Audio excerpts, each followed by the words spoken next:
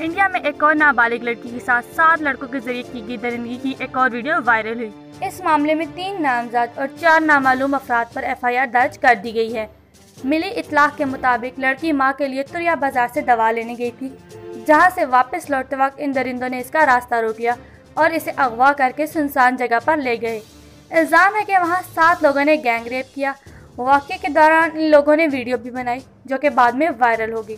मामला सामने आया तो छपिया गाँव के तीन नामजद और चार नामालूम अफराद को मुलजिम बताते हुए मामला दर्ज किया गया। दर्ज इब्तदाई शिकायत में लड़की ने बताया कि मैं तुरिया बाज़ार से अपनी माँ की दवा लेकर पैदल घर जा रही थी। जैसे ही बेताल बाबा पीतल के रास्ते पहुँची तो मगरबी सिम से चार बाइक सवार आए और बगल से निकल गए। कुछ देर बाद मशरक से वही चार लड़के वापस आए और मुझे घेर लिया। रुमाल से मेरा मुँह दबाकर अपनी मोटरसाइकिल पर बिठा लिया।